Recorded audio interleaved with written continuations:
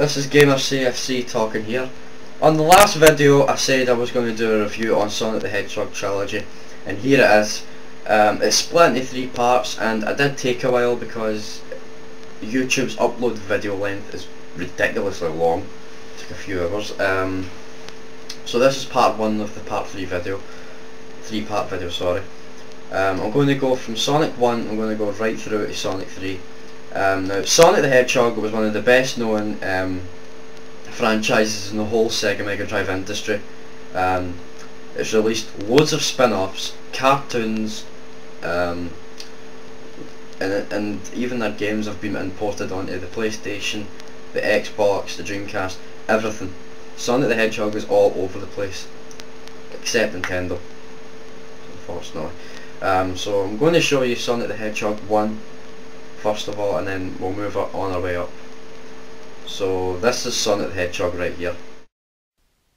Okay then, here we go. This is Sonic the Hedgehog 1 I'm going to show you first of all. Um, so basically, what, what's good about this is um, the fact it's your basic platformer. Um, you run from point A to point B with your blue hedgehog named Sonic. Um, but what you do in it though, um, it's not basically just run from one end to the other. Um, there's obviously obstacles and there's a bit few traps as well, including spikes, um, pit holes and whatnot. Um, yeah, you have rings to collect, and if you collect rings now, the rings play a quite a significant role in the game. You collect a ring or two, and um, they can save your life and what I mean by that is if you run along with a few rings in your in your possession, and if you accidentally run into an enemy, if you've got rings in your possession, your rings will scatter all over the place, giving you an extra chance um, to go collect the rings that you just lost, even if it is a few. But however, if you run into an enemy without any rings, then you'll die instantly. So that's not really something that anyone would like but what can you do? Um, now, can I just mention here that this is the most hated part I hate about this game is the bloody seesaw things. They really annoy you. Like I said earlier, um, it's got a good few obstacles and traps in the game to give the game a bit of a twist. Um, as you can see here, I've got a invincibility shield thing.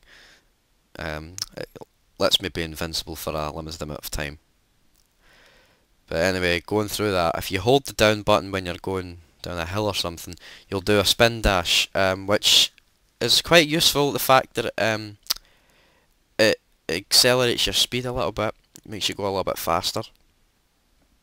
Um, what I really like about this is the fact that um, it's a good challenge and you can really enjoy something like this if you're into Sonic games. Now, I'm going to go into this now, the special stages. Um, what's unique about the special stages is, um, well, just look at it. The birds in the background and all that. But what it is basically is like a maze and it spins around in an anti-clockwise or clockwise direction depending on where you press it. Um, you control Sonic in mid-air as he tries to get the that Chaos Emerald in the middle. If you hit that blue and red goal line, then it's game over. Um, there's only 8 special stages in the whole game as you play through it, and that gives you 8 chances to get a Chaos Emerald, so you've got to be quite good at it, like, in order to get them all. Um, I got them all, like, 3 times in my life, so I didn't really do it that much.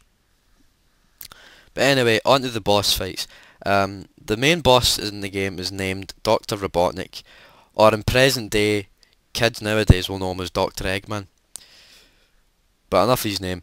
Um, it's quite simple, simple boss fight. All you have to do is um, knock him, knock him on the his vehicle eight times, and when you hit him eight times, that's him eliminated, and he'll fly off um, into the next level, and it's basically the same repetitive thing, um, which isn't bad. It's actually a good challenge, but the first level's quite easy though but despite the fact I lost a few rings there because I was doing terrible because I wasn't concentrating. Anyway, the game's split into uh, each level. It's got three different acts in it, three stages per per level. Um, At the end of every third stage, obviously, you'll get a boss fight, um, which is a good challenge in the game as well. And here's a spoiler one here. I just want to mention this is the last fight of the game. This is the last level. Um, so uh, pause and fast forward if you don't want to watch this, if it might spoil your fun. But I don't think it would spoil that many people's fun. But anyway, on to the next goods. This is Sonic the Hedgehog 2 for the Sega Mega Drive slash Genesis. Um, now this is my personal favourite of all three. The reason being that it's fast and colourful and it holds a good challenge. Um, and the multiplayer system's amazing. Now this has added a new character to the whole gang. This, his name's Tails. Um, his real name's Miles, but whatever. Um, Tails is um, Sonic's partner slash sidekick slash friend, who basically follows him around the game. Um, he can be quite irritating sometimes. Sometimes um, he can just be there when you don't want him to and whatnot. Despite the fact he doesn't physically get in your way, but whatever.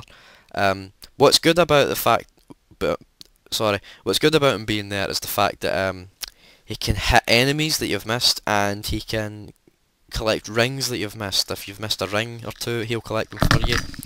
Um, by randomness, it will just it will just jump over the ring. It can also be controlled by the second player, but um, it'd be quite hard to catch up with Sonic since Sonic is a bit faster than Tails, and I'll show you later on. Uh, this level is uh, my personal favourite level out of them all, simply because it's nice and large, and it's got loads of shortcuts and obstacles you can overcome, and um, there's loads of routes you can take. Really good. I love it anyway. Um, and as you can see here, I'm making use of the new addition to the game controls called the Super Spin Dash. If you hold the down button and repeatedly press the action button, be it A, B or C, um, he'll do a super spin dash and depending on how many times you press it and let go, depends on how fast he'll go. Which is a nice addition to the game if you want to get somewhere fast. Um, I like it anyway. And another good addition to the game is the fact that you can select if you let if you prefer the old classic Sonic game from the previous one, you can also you can always select Sonic on his own. But if you want to see what Tails is like, you can also go to the player select and select Tails, which I'm going to do right now. Um, the difference between Tails and Sonic is simple. Tails is a fox with two tails, and Sonic's a hedgehog. Blah blah blah.